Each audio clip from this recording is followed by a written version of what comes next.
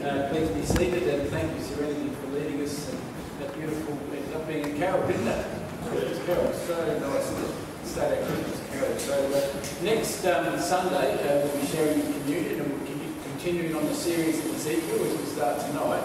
But we'll just be just giving you a little glimpse about what we're going to be doing over Christmas this year our Saturday service starts on it's Christmas Eve, so our Christmas Eve service, the 24th, will be our Saturday service. So um, we're going to talk a little bit about that next week, get some flyers out so we can invite our friends, family, neighbours.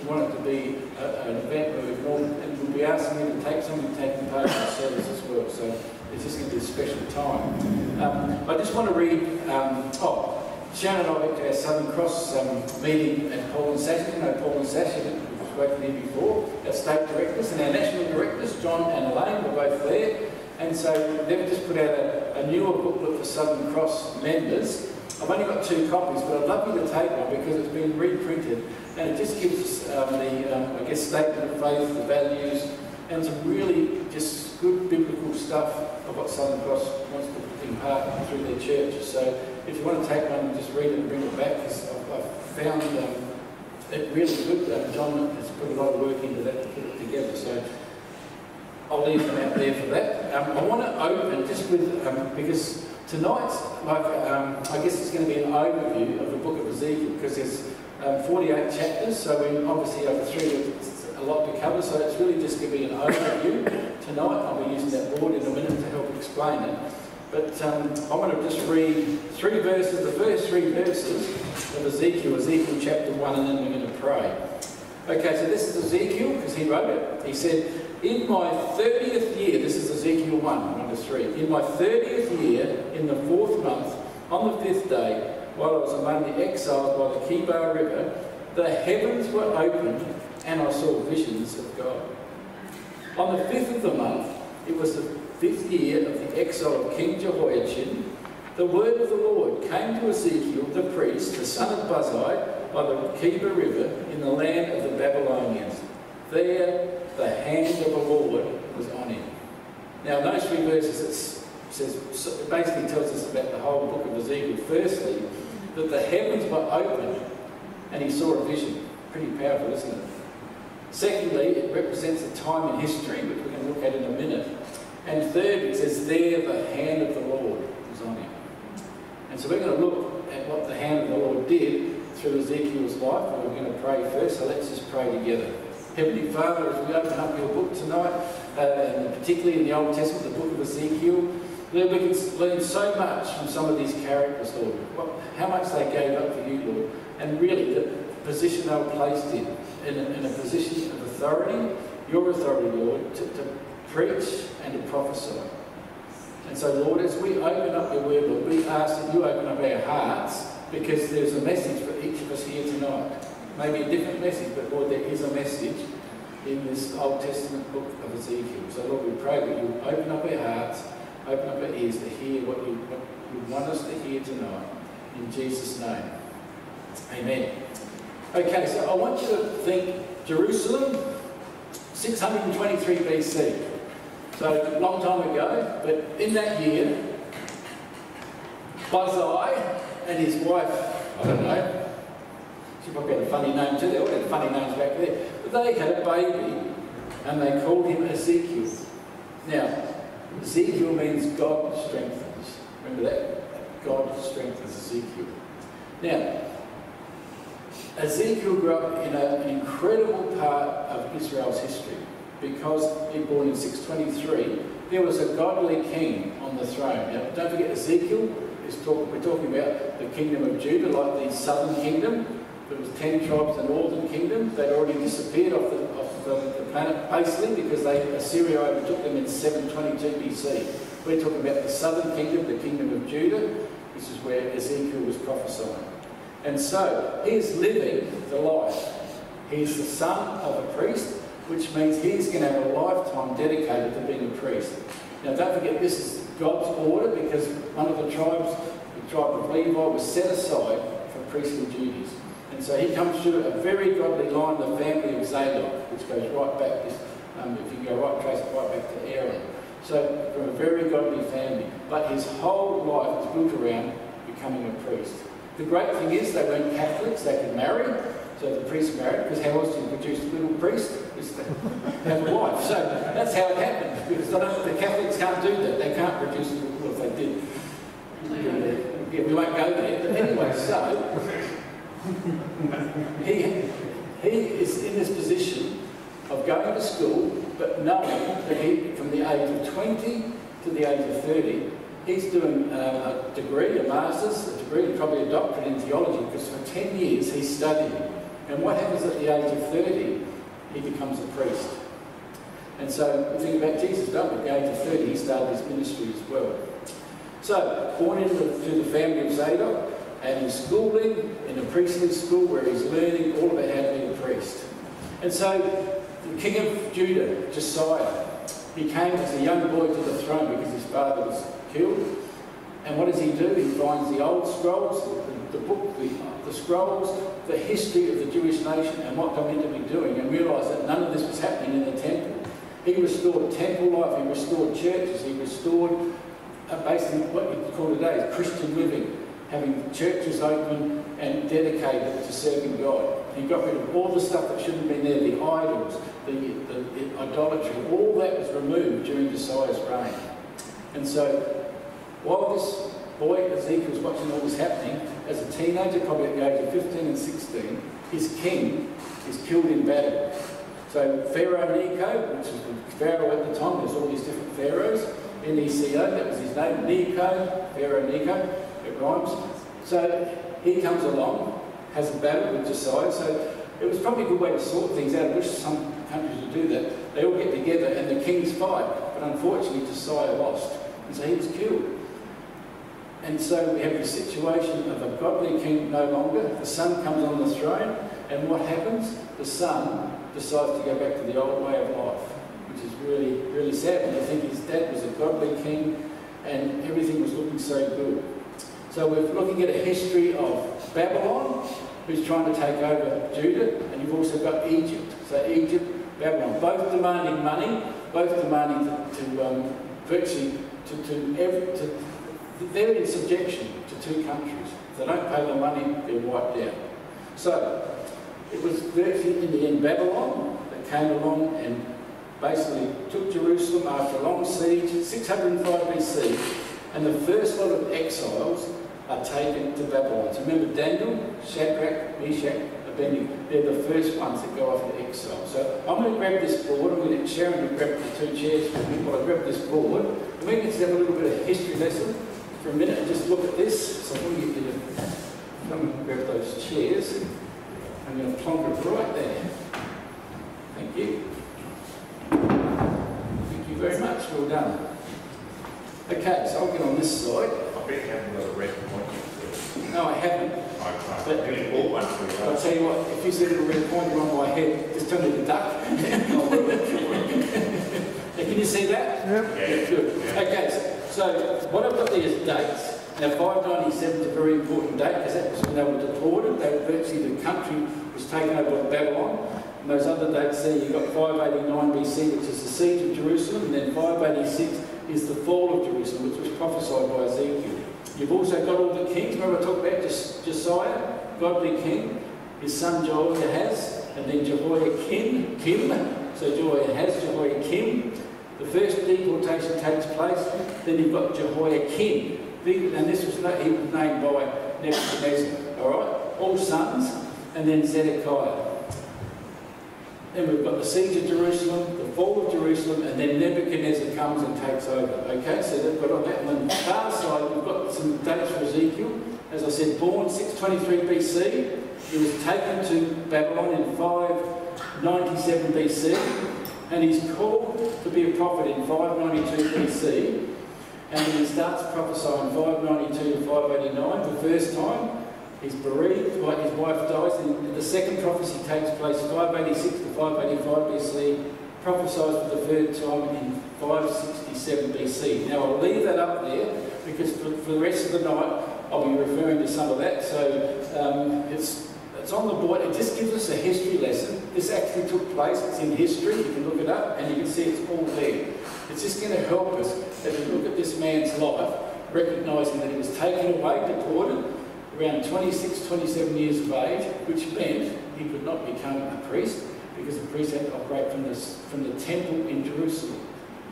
There was no authority to, to operate outside of that. So when they went to Babylon, yes, they finally set up synagogues, but they couldn't operate as priests. Could only be done through Jerusalem. So he lost his role as a priest when he was deported. And he never ever was able to um, take the, the authority of being a priest. Instead, he became a prophet. Okay, so He'd also grown up all these stories about the kingdom, northern kingdoms above him, and like I said in 722 BC, quite a bit before, the people had been overthrown by the Assyrians. So Assyrian was a cruel race, a bit like the Babylonian. They left no, they left no traces, they killed everybody, and they took a few people with them, just the important people that could make, could help them, and took them like the Babylonians did, the important people, they took them, and they left virtually just a small remnant just to do the farming so they could still get value out of these people. So it was a terrible thing that had happened to, the, to Israel, the northern kingdom, and it was going to happen to the southern kingdom. He also witnessed some really great preaching because he had the writings of Isaiah, which was a prophet before him. So Isaiah prophesied through four kings and right up to just before Josiah. So he prophesied for many years. So he would have had the writings of Isaiah, he would have um, heard Micah, he would have heard Jeremiah, they were contemporaries. But all that teaching basically fell on deaf ears for the northern kingdom and the southern kingdom. The, the prophets spoke God's word, and you know what the people said? We don't want to listen to that. And often what the kings did, they, they appointed their own prophets. You know, I've often seen that, you know, when you get a situation, in, uh, whether it's a parliament or a, a, a, a, like in a public service situation, they realise I need to appoint people that are going to speak what I want to think, and, what I, and so they have their own people of power that will only do what they tell them what to do. And that's exactly what was happening in the time of the kings, that these prophets were appointed by the king to prophesy what he wanted to hear. They got paid well to do it, it was all lies. Ezekiel was one of the few that spoke the truth because he spoke God's word. So he heard great preaching through Isaiah. He, would um, listened to obviously Micah, Jeremiah. We, but we also need to look at the attitude of the people of that time. So unfortunately, the message of the prophets for both the northern kingdom and the southern kingdom, it fell on deaf ears. They went back to following foreign gods. They intermarried with foreign countries. They were told from the very beginning when they went into when they went into the chosen land, the promised land, not to intermarry with, with the tribes around them. But they chose to do the opposite. They intermarried. They took the foreign gods, the idols, and they just rebelled against God. So God sent the prophets. He sent Isaiah, Micah, Jeremiah, Amos, Joel. There were so many prophets that he sent. And nearly every time the people failed to listen. In fact, if you read Ezekiel, uh, Ezekiel 2 5, Ezekiel 9 9, Ezekiel 6 8, God calls them a rebellious and stubborn people, a rebellious and stubborn people, because they refuse to listen to the prophets. You know, if you think about it, if you go through all the prophets, there's really only one prophet that the people listened to. Do you know who that was? One prophet where the people listened to and repented. Jesus. Jonah. Jonah. And who was he going to? He was going to the Assyrians, the people that weren't even, they weren't even part of Israel. They were the enemies. And that's one of the things about Jonah, and he got really angry with God because he preached and they repented. And he, he almost didn't want them to because he, he actually hated them. He hated the Assyrians. You know, they were the opposition. They were the, they were the ones that came in and killed all the Israelites. So it's interesting, isn't it? The only time where you see a prophet preach is when he preached to the opposition, to the baddies, and they repented. But actually it was only temporarily, it was just for one generation. And it's a bit like this, um, the Northern South Kingdom.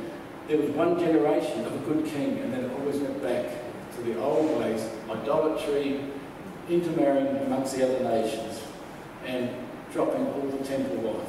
So in other words, the prophets and the priests had no power. No one listened to them. That's funny because I don't see the world today how they don't listen, they don't listen to the church anymore. you know, 50 years ago, people wanted some wisdom, or they, you know, the newspaper wanted to know how should we handle this situation. They went to the, they went to the priests, they went to the ministers for advice. Unfortunately, they don't anymore, do they? They go to the experts. so, the people struggling with their own inner self, struggling because they are stubborn and obstinate people. Another interesting thing about Ezekiel tonight as we look through the story of Ezekiel is that when God speaks to Ezekiel, he calls him by a name. He calls him Son of Man. Now that is, that's amazing when you think about it. 83 times, I think it's recorded, that he's called Son of Man. And now the only other time that is used in all the Bible is in this reference to Jesus. So, you know, God saw him very highly and he used his name Son of Man. Like I said, Jesus used that title, and people refer to Jesus as Son of Man. So it's interesting when you think about it, that God held him in a high regard, and often we just flip through the book and think, what, you know, what the heck's this all about? But God referred to him as Son of Man because he had a huge message share to the people, not only to the people of that time, but the, as you'll see in the last prophecy, to, talk about the future, what's going to happen in the future that still hasn't happened. Another interesting, oh yeah, the other thing was he was a contemporary, I think I told you, that Jeremiah, lived at the same time as the prophet Jeremiah, Habakkuk, and also Daniel. So he would have either met them or would have been a contemporary of, yes. Daniel is not correct. That's right, we'll talk about that later. Let's just saying. Any reference you'll find Yeah, okay, any reference. Yeah, all right. Okay, we'll talk about it later. Yeah, Right, hold on. yeah. It's all right. No, no, we'll talk about it later. Rex, we'll talk about it later, okay? No, We'll talk about it later, that's fine. Yeah, okay. Yeah, all right, yeah. All right, so, now, he was deported in his 26th year. Remember we talked about that? In his 26th year, so he was unable to carry out the duties of a priest. In fact, by the end of Nebuchadnezzar's siege, there was nothing left of Jerusalem. There was no temple, and it was prophesied by Ezekiel and other prophets that nothing would be left. Because he took everything, and he took the key people from Jerusalem and took them to Babylon, like Daniel, Shadrach, Meshach, Abednego, and all those other people, and he took them to use them in positions of authority because they had he knew they had the brains, and he knew they could do the right thing in that country. What he left back in his own country, back in Jerusalem, was just a very small remnant of people, basically farmers, people that had very little skills, and so he just left them knowing that nothing would happen, and nothing did happen, unfortunately. So there we have it, deported in his 26th year. So instead of becoming a priest at the age 30, he becomes a prophet. That's funny because someone else started their ministry at 30, didn't they? Jesus, he started his ministry at 30 as well. So he starts his ministry about 30, and then roughly five years later, after his deportation, while he's sitting on the banks of the Kiba River, so K-E-B-A, so it's Kiba, it's actually uh, spelled C-H-E-B-A-R, but we pronounce it Kiba. So the Kiba River, interesting enough, even today, one of those tributaries still exists. So you've got the Euphrates and the, what's the two big rivers, the Tigris and the Euphrates. And I think it's the, they both, Euphrates goes through Babylon. And so what the king did at that time was to get these two rivers and put channels and irrigation channels. So like when you go across the high plains and you see some of those massive fields, and there's the water coming just for miles and miles doing all those cornfields and places like that. So they had all these channels, all these irrigation channels, so people could live and grow in the whole area. And so they were on the southern part of Babylon, and so they were on the Kibar River, which was a tributary of the Euphrates. So there they are, and Psalm 137 1 tells us about it, doesn't it? Because it says, by the rivers of Babylon. And there's a song by Boney M. Yeah, yeah, I can sing it. yeah, rivers of Babylon. That's it. We sat down. Oh, that's enough. that's, it, that's it. So that's, that's a song. So yes, we sing it, but that's exactly where it comes from. It's the story of the exiles who were stuck on the rivers of Babylon, and they were so upset because they couldn't practice what they'd learned in Jerusalem. They couldn't go to church. They couldn't do any of the things, and they were there desperate to get back. But the prophecy said they wasn't going to be for another 70 years, because Daniel tells us it's 70 years before they could come back. So therefore, all these people that were deported lived and died in Babylon, including Daniel and including Ezekiel. Yeah. So there they have it on the rivers of Babylon, And the, it tells us that in that fifth year, Ezekiel has a vision. And it's a vision, firstly, about what's going to happen. And we're going to talk about that next week, that first vision, because he has a vision of heaven. And the amazing thing is, it's almost word for word and picture for picture of what John saw in Revelation. And it's incredible when you actually compare the similarities. And we're going to talk a bit about that next week. I'm not going to cover it now because it's quite fascinating as different people in the Bible have been able to look and see heaven because God, as it says here, the heavens were open and I saw visions of God. So we know that he saw it. Yeah, so there he is. So after this, has his first vision, he preached, and roughly for three years he preached and he did miracles. But he was also required, as you, if you read, and I, I challenge you to read Ezekiel, it's a hard read, and I hope you've read 2 Kings 22 to 25 because that's the backdrop of the Kings here in the story, and it helps to fill it in. And we're going to also talk about the week after about the prophecy about one of the kings as well that came exactly true as he made a hole in the wall to escape. And there was a prophecy that there was going to be a hole in the wall where they would escape, but they were all caught. So, and that was all prophesied as well by Ezekiel.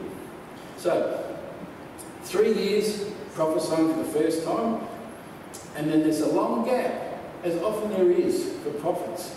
We don't know what he did for that period, but there was a long gap.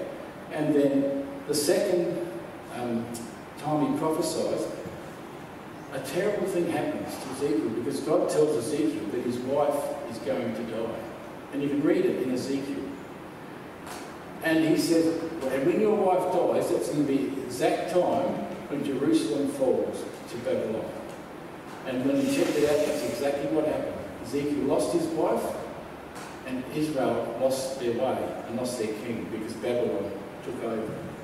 So when you look at Ezekiel, he prophesied three times. We've got there. Firstly, for three years, then for one year, and then finally just for a few months. He was aged around 50 when he prophesied for the last time, and then we know that he died, he passed away, in his, in probably just in his early 50s.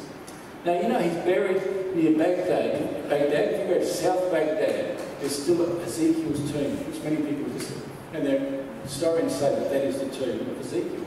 It is still there to this day. If you go to South Babylon, you'll find the tomb of Ezekiel still there to this day. So it's pretty amazing when you think about it. And he's still revered by the, the, by the Muslims and by the Christians, it's quite, and by the people of Babylon, because they know his history. Sometimes they know the history better than we do. But it's interesting to think that so long ago, there's still a tomb, the tomb of Ezekiel. Okay, now we've got 48 chapters. We're not, obviously not going to get through them all in these next few weeks, but I'd love you to read it because it is it's, it's heavy reading, a lot of it. So in those 48 chapters, like most prophecies, you've got the first bit, the first 32 chapters are on judgment, and it is about God's judgment on Israel. And then from chapters 33 to 48 is what they call the consolation. So the period where God recognises or, or tells them that the people that have been judging them and, and putting them down are going to be accounted for. There's, there's, there's the woes against them, and they prophesy what's going to happen to them, and that's what happened to them all. Most of those nations were wiped out because of their idolatry and the way they treated Israel. They've got those prophecies, and then also the last prophecy is about the future times, about what we read about in Revelation, and that's all there, right through. So you've got the judgment and then the consolation. So over these next three or four weeks, we're going to be looking at those three prophecies of Ezekiel. It's going to be challenging, but I think it's important that we look at this Old Testament book to see that it's there for a reason. It's there because we look at the people, then we look at the prophecies, and then we look at the nations around Israel that God actually used those nations, those evil, evil nations, to bring judgment on Israel because of the lifestyle they were living. You know, if it wasn't for the lifestyle they were living, none of this would have happened. But God had said right at the very beginning, when the first king came on the throne, when David came on the throne, and he said, even when they went in Deuteronomy, when you read they went into the chosen land, God set some standards, and he set some principles, and he set some laws in place. All he asked for them to obey those laws, they failed. You know, God's done the same thing with our nations today. There's some laws and principles that actually work. They're there for a reason. And when people don't follow those principles and laws, society breaks down. And that's exactly what is happening today. If we could only follow God's word and see how much a difference it would make in families, in schools, in society, in all levels of life. But what I want to do tonight is, as we look at Ezekiel, there's one thing that stands out for me, that really stands out for me, and I think in a lot of, uh, of, uh, of, I guess, the books that I've read, one thing that really stands out. And it's one of the main lessons, I think, out of Ezekiel, and it's, it's the sin of apathy and pride. The sin of apathy and pride. As God said, the obstinate and stubborn people. So I want to read Ezekiel 28, 11 to 19.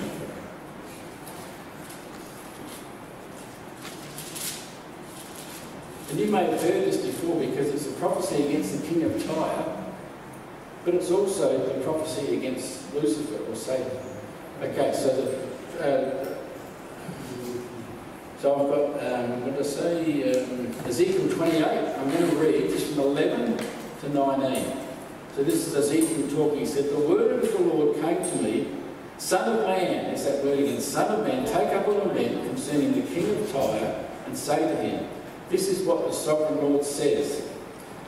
You were the soul, you were the seal of perfection, full of wisdom, perfect in beauty. You were in Eden, the garden of God. Every precious stone adorned you carnelian, chrysolite, and emerald, topaz, onyx, and jasper, lapis lazuli, turquoise, and beryl. Your settings and mountings were made of gold. On the day you were created, they were prepared. You were anointed as a guardian cherub, for so I ordained you. You were on the holy mount of God. You walked among the fiery stones. You were blameless in your ways from the day you were created, till wickedness was found in you. Through your widespread trade, you were filled with violence and you sinned. So I drove you to disgrace from the mount of God, and I expelled you, guardian cherub, from among the fiery stones. Your heart became proud on account of your beauty, and you corrupted your wisdom because of your splendour. So I threw you to the earth, I made a spectacle of you before kings. But your many sins and dishonest trade, you have desecrated your sanctuaries. So I made a fire come out of you, and it consumed you, and I reduced you to ashes on the ground in the sight of all who were watching. All the nations who knew you are appalled at you, and have come to a horrible end, and you will be no more.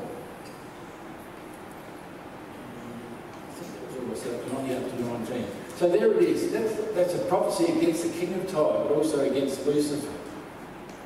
And so it's actually, as I said, the description of the fall of Satan. And verse 17 says, Your heart became proud on account of your beauty. Your heart became proud. And you corrupted your wisdom because of your splendour.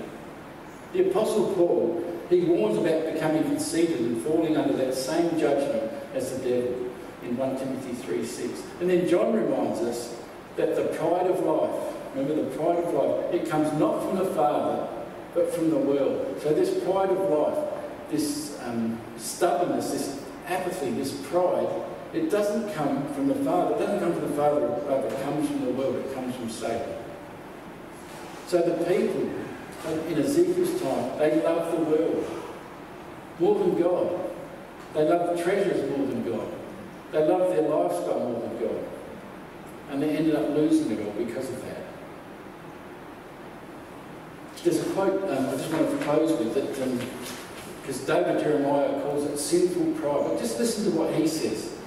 This, this is uh, David Jeremiah just quoting about sinful pride about this, this chapter. He says, Sinful pride is taking our eyes off God and all that He has done for us and preoccupying ourselves instead with our appearance, with our possessions, with our attributes, and with our accomplishments. It is so easy to do, and it can happen in a flash, even in the midst of worship, even in the midst of a sermon. You know, sometimes we sit through a sermon and think that, oh, you know, and it happens so quickly, doesn't it? We let down our guard for a moment and pride slips in like a burglar through an unlatched window. We let down our guard for a moment and pride slips in like a burglar through an unlatched window. Peter warns us that God opposes the proud but shows favour to the humble, 1 Peter 5 5.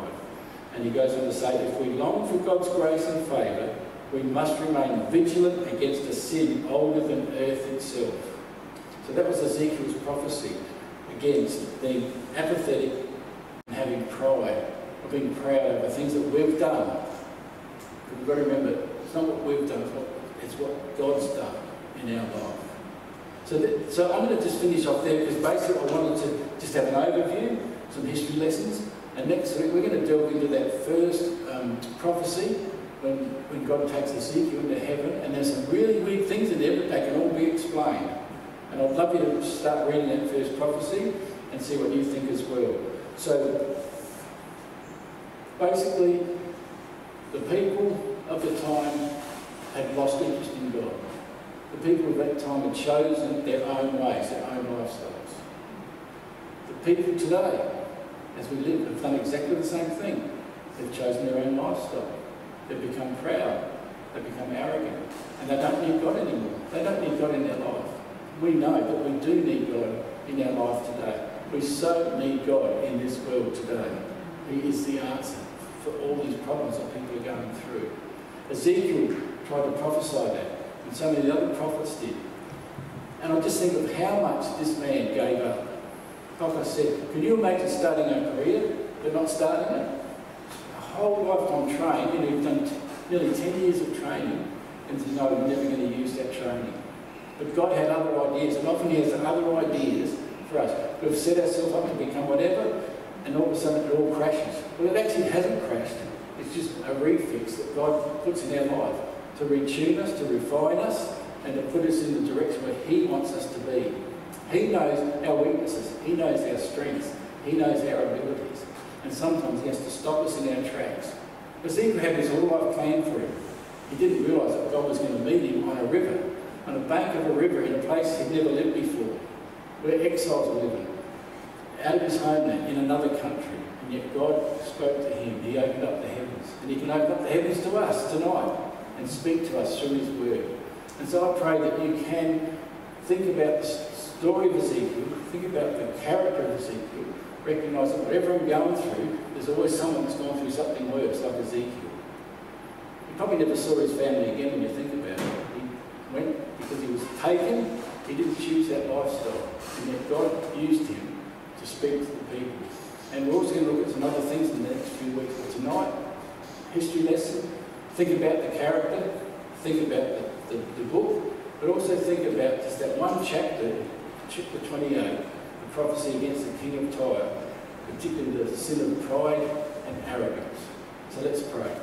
Heavenly Father, we uh, just thank you that we've started this journey on the book of Ezekiel. Lord, we thank you for um, a man that was um, destined for greatness as he thought. And yet you took him out of his homeland and sent him to a foreign land. And in that foreign land, you spoke to him, Lord. You revealed the heavens to him. Lord, it doesn't matter where we are tonight in our life, you can speak to us, Lord. And so, Lord, tonight we just want to um, admit if we've been, if we've strayed away from the truth, Lord, if we've strayed away as the children of Israel did, Lord, help us to come back to you, Lord. Lord, you're always there with open arms to take us back in, Lord. And help us, Lord, when things happen in our life to recognise that it's you, Lord, that have done it for us. Lord, help us not to have that arrogance and pride that the king of Tyre had and made himself so proudful and so boastful, Lord, that it brought about his downfall. But we want to give all the glory to you tonight and pray that you'll continue to use us to walk in your ways, Lord, and Lord, to listen, to hear your voice speak to us, Lord, through your word. We thank you in Jesus' name. Amen.